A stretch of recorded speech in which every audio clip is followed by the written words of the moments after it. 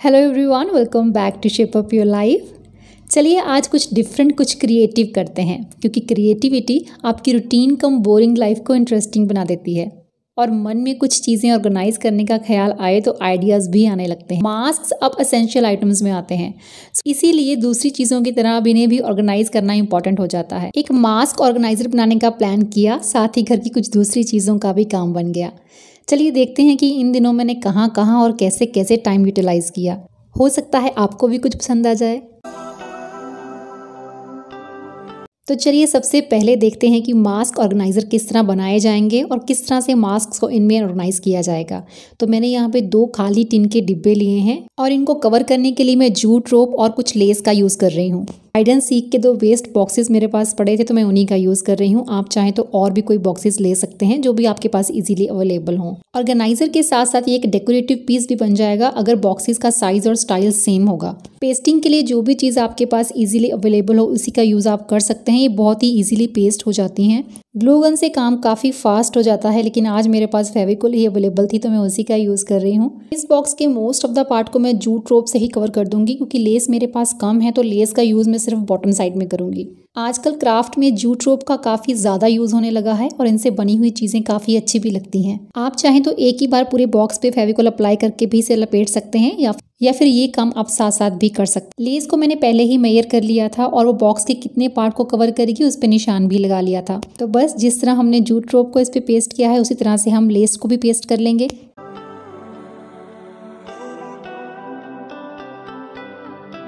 तो लीजिए, एक बॉक्स तैयार होने के बाद आप देख सकते हैं इसकी फ़र्स्ट लुक और इसी तरह से हम दूसरा बॉक्स भी रेडी कर लेंगे।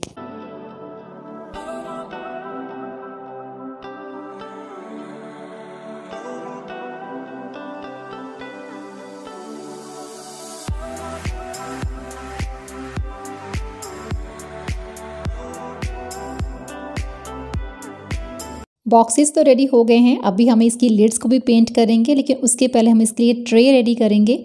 तो ये ट्रे घर में किसी गिफ्ट के साथ आई थी और मैंने इसे रख लिया था और आज इसका परफेक्ट यूज़ होने वाला है। आप भी देखिए, घर में कोई वेस्ट ट्रे पड़ी हो जिसका आप यूज़ नहीं करते हैं तो उसको क्राफ्ट के यूज़ में लाया जा सकता है। इसे पेंट करने के लिए मैं स्पॉन्ज की हेल्प ले रही हूँ और साथ ही यूज़ कर रही हूँ इसमें क्रैलिक कलर्स अगर आप ऐसा सेम कुछ बनाना चाहें तो मैं आपको सजेस्ट करूँगी कि, कि आप इस ट्रे को ग्रे कलर से पेंट करें। कलर्स को मिक्स करते वक्त मेरे पास ब्लू कलर कम पड़ गया इसलिए ये ब्राउन कलर बन गया। अदरवाइज़ मुझे वो ग्रे कलर चाहिए था जो रेड येलो एंड ब्लू को मिला के बनता है।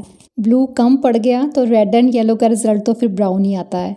बट नो प्रॉब्लम इस कलर ने भी ट्रे को एक नया और अच्छा लुक दिया।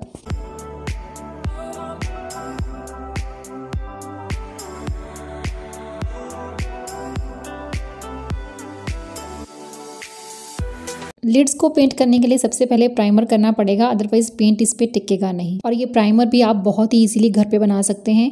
Equal quantity of plaster of Paris Fevicol और साथ साथ ही व्हाइट एक्रेलिक कलर तीनों को मिक्स करेंगे तो प्राइमर रेडी हो जाएगा। क्राफ्ट की बहुत सारी आइटम्स में प्राइमर यूज़ होता है तो इसी तरह से प्राइमर अपने घर में बना के रख सकते हैं। पेंट करने से पहले अगर प्राइमर कर लिया जाए तो पेंट भी कम यूज़ होता है और लॉन्ग लास्टिंग चलता है। प्राइमर को सूख जाने दें, उसके बाद इसमें करेंगे हम व्हाइट एक्रेलिक पेंट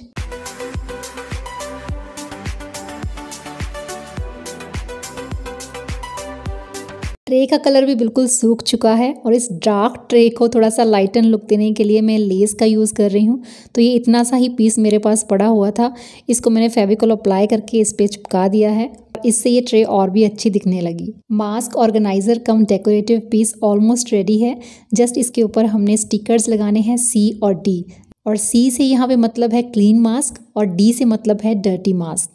और इस ट्रे को आप रख सकते हैं अपने घर के एंट्रेंस के पास। और फैमिली के हर मेंबर को सी और डी का मतलब पता होना चाहिए। और डर्टी मास्क का कंटेनर फिल हो जाने के बाद आप एक साथ उनको डिसइनफेक्ट कर सकते हैं और वापस से क्लीन मास्क के कंटेनर में डाल सकती हैं।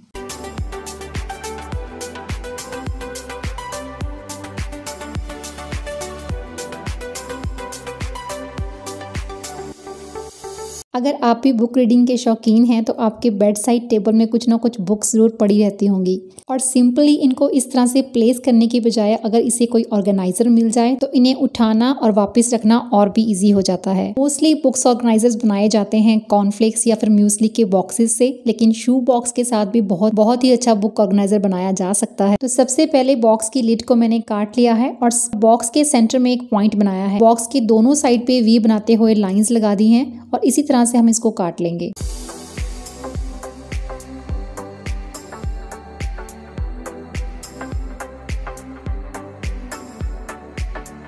कटिंग हो जाने के बाद इस तरह से दोनों साइड आपको वी नज़र आएगा। सेंटर में हम एक कट लगाएँगे ताकि हम इसे फोल्ड कर सकें।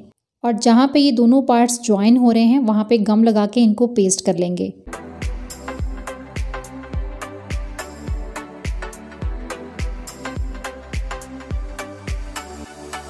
दो साइड्स जो ओपन रह गई हैं, उनको कवर करने के लिए और बुक्स को सपोर्ट देने के लिए हमें मेज़रमेंट लेके दो पीसेस काटने पड़ेंगे। और इन दोनों पीसेस को कटिंग करने के बाद गिफ्ट रैप से हम रैप करेंगे और वहाँ पे पेस्ट कर देंगे।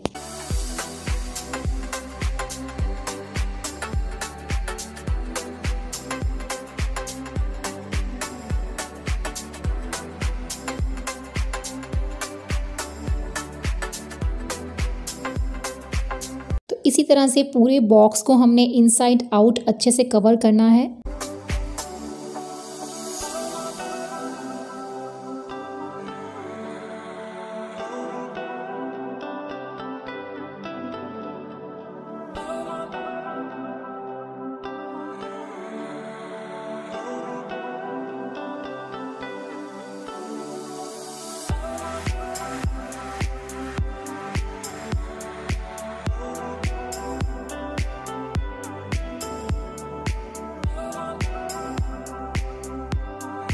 बुक ऑर्गेनाइजर अच्छे से कवर हो जाए, उसके बाद हम इसको डेकोरेट कर सकते हैं। मेरे पास कुछ स्टिकर्स पड़े थे तो मैं उसी का यूज़ कर रही हूँ डेकोरेशन के लिए। आप चाहें तो किसी लेस का यूज़ कर सकते हैं। थोड़ी बहुत डेकोरेशन कर देने से ये ऑर्गेनाइजर के साथ साथ डेकोरेटिव पीस भी बन जाता है। कार्डबोर्ड से बने हुए प्रोजेक्ट्स लॉन्ग लास्टिंग तो नहीं होते हैं, लेकिन आपने तो वेस्ट मटेरियल से ही बनाया है, जब चाहे दोबारा भी बना सकते हैं और एक बार फिर से उस एरिया को नई लुक दे सकते हैं। चीज़ें बार बार अरेंज करने पर भी इस तरह से अगर ड्रॉर्स मेसी रहते हैं तो dividers are the only solution online आपको बहुत से डिवाइडर्स मिल जाते हैं, लेकिन अपने ड्रॉर्स के साइज़ और रिक्वायरमेंट के अकॉर्डिंगली आप घर पे खुद भी डिवाइडर्स बना सकते हैं और उसके लिए माउंट बोर्ड या कार्डबोर्ड किसी का भी यूज़ किया जा सकता है। आपको ड्रॉर की लेंथ विथ और हाइट का मेयरमेंट ले लेना है। जैसे इस ड्रॉर की लेंथ और विथ सेम थी इलेवन एंड हाफ़ इंचज़ और हाइट में ले रही हूँ यहाँ पे थ्री इंचेस और इसी साइज़ की मुझे छह पट्टियाँ काट लेनी है। ये डिवाइडर्स बनाना बिल्कुल भी मुश्किल नहीं है। हाँ थोड़ी मेहनत ज़रूर लगती है। एंड ट्रस्ट में ये उतनी जल्दी भी ख़राब नहीं होते।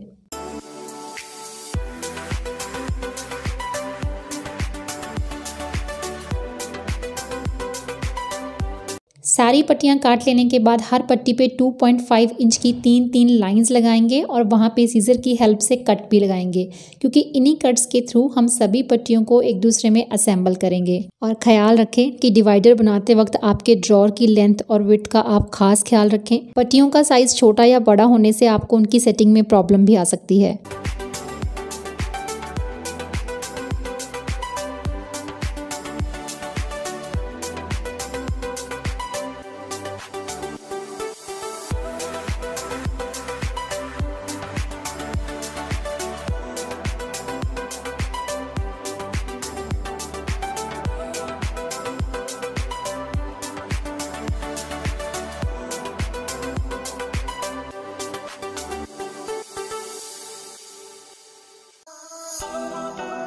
इन डिवाइडर्स के थ्रू आप अपने सॉक्स और अंडरगारमेंट्स को ऑर्गेनाइज करके रख सकते हैं। और सच भी है, छोटे कपड़ों को संभालना ही ज़्यादा मुश्किल होता है। और इस तरह के ऑर्गेनाइजर्स अगर आपके ड्रॉर्स में हों तो यही ज़रूरी कपड़े मिसप्लेस होने से भी बच जाएँ। पहले मैंने माउंट बोर्ड के साथ बनाया था तो उसको कवर करने की कोई ज़रूरत नहीं होती है, लेकिन अगर आप वेस्ट कार्डबोर्ड के साथ बना रहे हैं तो थोड़ा सा अच्छा दिखाने के लिए आपको उसको कवर कर लेना चाहिए। और कवर करने के लिए आप किसी भी वेस्ट पेपर का यूज़ भी कर सकते हैं या फिर गिफ्ट रैप का यूज़ कर सकते हैं। मैं यहाँ पर अडहेसिव शीट जिसे कि वॉलपेपर भी कहते हैं, हम वॉलपेपर का यूज़ कर रही हूँ। और इसका यूज़ करने से पेस्टिंग में लगने वाला टाइम भी बच जाता है।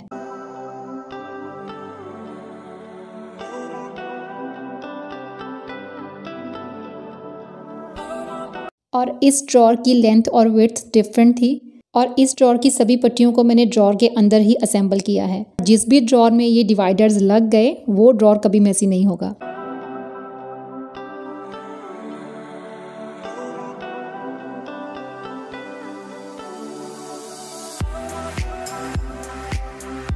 और जब सभी लोग अपने अपने काम में बिज़ी होते हैं तो स्टफ़ी को लगता है कि मुझे कोई क्यों नहीं देख रहा।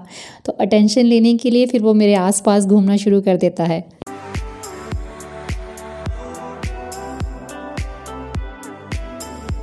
तो कहने का स्टैंड ये है कि डिवाइडर्स आपके बेडरूम के ड्रॉर्स के लिए चाहिए हों लिविंग रूम के लिए या फिर किचन के लिए क्यों नहीं?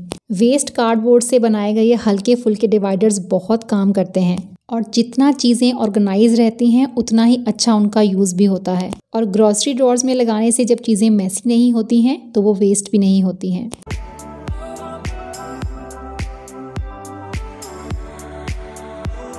वेस्ट कुल्लर्स का यूज़ आप डेकोरेटिव पीस बनाने के लिए भी कर सकते हैं या फिर इनको ड्रॉर में रख के ऑर्गेनाइजर की तरह भी यूज़ कर सकते हैं। तो मेरे पास चार कुल्लर्स पड़े थे तो जिनको मैंने पहले प्राइमर कर लिया है। प्राइमर जैसे मैंने आपको बताया पहले कि घर पे आप कैसे बना सकते हैं। प्राइमर कर लेने के बाद प्राइमर को सूख जाने दें और उसके बाद हम इसको करेंगे पेंट हर कुल्लर पे मैं दो कलर का पेंट करूँगी। कलर दूसरे एरिया में ना जाए, उसके लिए मैंने यहाँ पे पेपर टेप लगा दी है। पेपर टेप लगाने से आपकी जो लाइन है वो बिल्कुल सीधी आती है और कलर यहाँ वहाँ भी नहीं फैलता।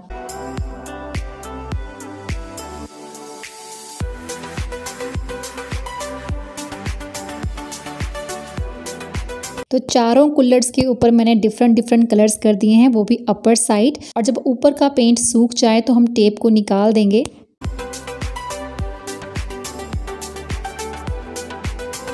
एक बार फिर से टेप लगाएँगे उस एरिया पे जहाँ पे हम ऑलरेडी पेंट कर चुके हैं।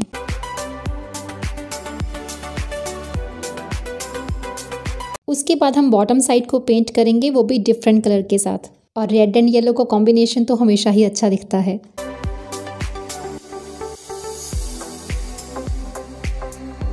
बॉटम साइड का कलर भी सूख गया हो तो टेप को निकाल दें और थिन ब्रश का यूज़ करें उन एरिया को फिल करने के लिए जहाँ पे कुछ छूट गया हो। चारों कुल्लड़ पेंट हो चुके हैं और अब आप अपनी मर्ज़ी से यहाँ पे कुछ फेसेस बना सकते हैं, कुछ डिज़ाइन बना सकते हैं। मैंने यहाँ पे सिंपली आईज़ और स्माइली फेस बनाए हैं। आप अपनी मर्ज़ी के अकॉर्डिंगली पेंसिल के साथ कोई भी डिज़ाइन ड्रॉ कर सकते हैं और उसके बाद पेंट की हेल्प से उसको पेंट कर लें। बहुत ही सिंपल से दिखने वाले कुल्लड़ beautiful decorative pieces cum organiser में चेंज हो गए। और ये सब रेडी करने के बाद मुझे ऐसा लगा जैसे मुझे अपनी रूटीन जॉब से ब्रेक मिल गया हो। आपको क्या चीज़ सबसे ज़्यादा पसंद आई, बताइएगा मुझे। मिलती हूँ मैं नेक्स्ट वीडियो में। Till then bye bye take care and stay healthy